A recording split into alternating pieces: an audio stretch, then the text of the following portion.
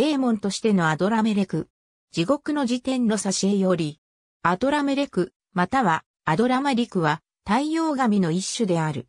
彼の崇拝の中心はセファルワイムの町とサマリアである。サマリアにおけるアドラメルクの崇拝慣習はセパルワイムからの入植者によって持ち込まれた。名前のメレックはヘブライ語で王を意味する。A.R. ミラードやソウル・オリアンなどによるとアドラメリクの言語アディーヤ・メレックは威厳ある王または威厳あるものが王であるを表している可能性が高いという。同義語であるアディーヤ・ミルクは同様のミルク、アディーヤや BAR、アディーヤと共に、バールの形容詞、または、バールとして、古代セム語源に記録されている。彼は、バール・アドロメルチとも称される。バールは、主という意味である。アッシリアの神話において、バールの称号は、多くの神が得ていた。彼の名は、人名としても使われており、アッシリアの王、センナケリブにもアドラメレクという息子がいる。後の時代では、彼はカルタゴのモロクと関係を持った。このことはしばしば子供たちが彼の生贄にされた概念に至る。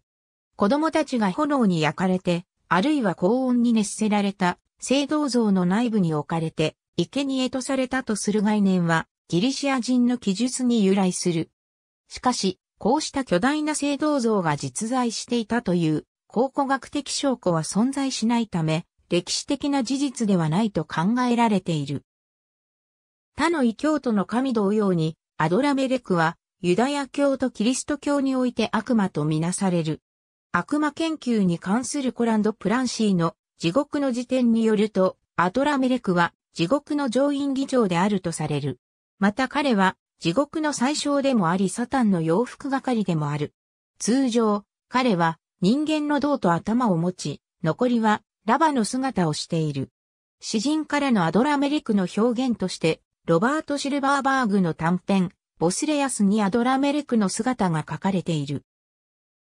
この文章では、アドラメレクは神の敵、野心家、狡猾さと、チャメッテは、サタン以上、呪いに長けた、悪魔、より深い偽善者と表現されている。ありがとうございます。